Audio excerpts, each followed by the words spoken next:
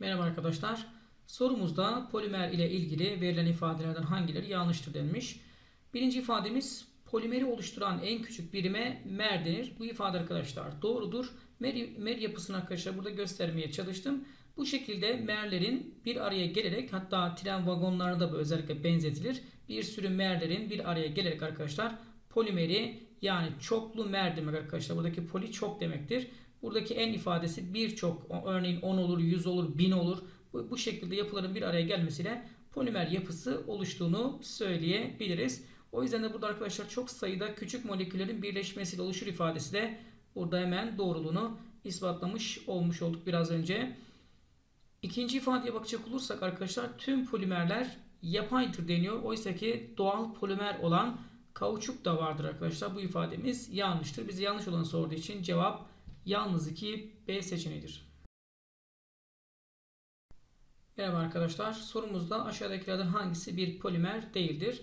Protein ve nişasta arkadaşlar canlıların yapısında bulunan polimerlere örneklerdir. Diğer taraftan yapay polimer olarak naylonu, doğal polimer olarak da arkadaşlar kauçuk örnek verilebilir. Ama arkadaşlar deterjan bir tuzdur.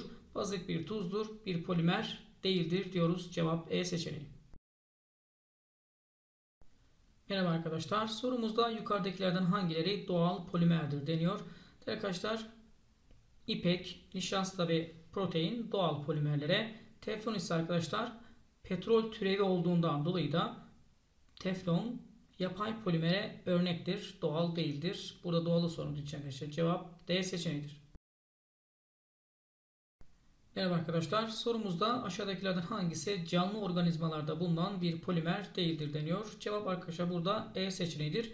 PVC polivinil klorürün kısaltılmış halidir ve PVC'ler biliyorsunuz ki cam pencere yapımında kullanılan plastik olduğunu ve petrol türevi olan bir malzeme olduğunu söyleyebiliriz. Cevap burada arkadaşlar E olacaktır. Merhaba arkadaşlar. Sorumuzda yukarıda polietilenin oluşum tepkimesi verilmiştir. Buna göre yargıların hangileri doğrudur demiş. Etilen monomerdir ifadesi arkadaşlar doğrudur. Yani bu yapıya biz zaten monomer diyoruz. Diğer taraftan polietilen bir polimerdir. Arkadaşlar polietilen birçok mer yapısının bir araya gelmesiyle oluşan polimer bir yapıdır. Bu ifademiz de doğrudur. Polietilendeki mer ifadesi arkadaşlar budur.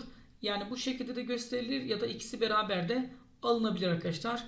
Bu ifadede arkadaşlar doğru olduğunu söyleyebiliriz. Cevap E seçeneğidir. Merhaba arkadaşlar. Sorumuzda yukarıdaki polimerler ile kullanım alanları doğru eşleştirilmesi hangi seçenekte doğru verilmiştir deniyor.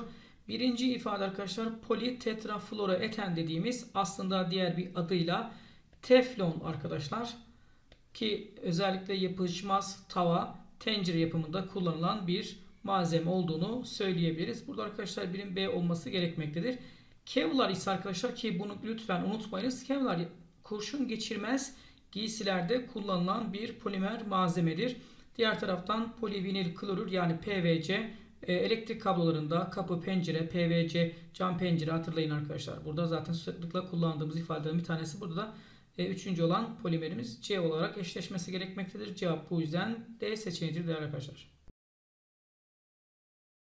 Merhaba arkadaşlar. Sorumuzda plastik malzemelerin fayda ve zararları ile ilgili aşağıdakilerden hangisi yanlıştır deniyor. A seçeneği tıp ve dişçilikte protez malzeme üretimini kolaylaştırır. Evet arkadaşlar bu ifademiz e, doğrudur.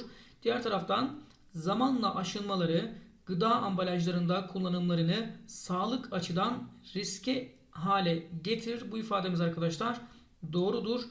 C seçeneği doğada kolaylıkla ayrışmalarından dolayı. Bakınız arkadaşlar bu ifade özellikle yanlıştır. Kolaylıkla ayrışmazlar diyoruz. Çevre kirine yol açmazlar ifadesi yanlıştır değerli arkadaşlar. Diğer, diğer ifadelere bakacak olursak birçok malzemeye göre daha esnek, daha hafif ve daha dayanıklı olduğunda bilmekteyiz arkadaşlar. Kolay kolay kırılmadığını söyleyebiliriz çoğunun. Diğer taraftan kimyasal etkilere karşı dirençli ifadesi de arkadaşlar doğrudur. Özellikle bazı e, polimer malzemelerin ki plastik malzemelerin sadece burada plastik deyince aklınıza tek kullanımlık tabaklar gelmesin arkadaşlar. Elbette ki borular gibi malzemelerde PVC gibi cam pencerede kullanılan plastik malzemelerde aklınıza gelmelidir diyoruz. O yüzden bu da arkadaşlar yanlış olan direkt olarak C seçeneği olacaktır.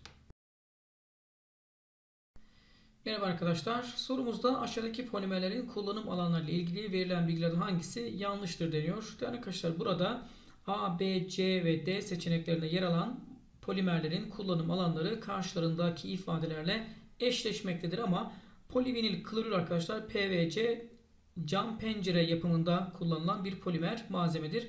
Kurşun geçirmez yeleklerde, gemi hatlarında, fren balatalarının üretiminde kullanılan polimer malzeme arkadaşlar Kevlar'dır ve bunu lütfen unutmayınız çok çok önemlidir. Sıklıkla sorulan ve denemelerde en fazla karşınıza çıkacak ifadelerden bir tanesi olduğunu söyleyelim. Bu ifade arkadaşlar yanlış olduğunu söyleyebiliriz. Merhabalar arkadaşlar. Sorumuzda polimerlerin geri dönüşümüyle ilgili yukarıda verilen ifadelerden hangisi yanlıştır deniyor. Farkındalık açısından çok önemli bir soru olduğunu söylemek isterim. Polimerlerin çoğunluğu doğada kendiliğinden bozulmaz geri dönüşüm ile çevre kirliliği azaltılır ifadesi arkadaşlar doğrudur. Diğer taraftan ikinciye bakacak olursak geri dönüştürülen polimer malzemesi ikinci kullanımda aynı ürünün üretiminde kullanılır arkadaşlar. Aynı ürün değil farklı bir ürün oluştururlar. İkinci kez kullanımında arkadaşlar bu ifade yanlıştır. Geri dönüşüm sembolü arkadaşlar burada verilen ifade gibidir. Dolayısıyla da bu ifade doğrudur. Yanlış olan sormuş cevap yalnız 2 B seçeneğidir. Merhaba arkadaşlar. Sorumuzda kozmetik ürünlerde bulunan zararlı kimyasalların etkileri ilgili aşağıdaki ilerden hangisi yanlıştır deniyor.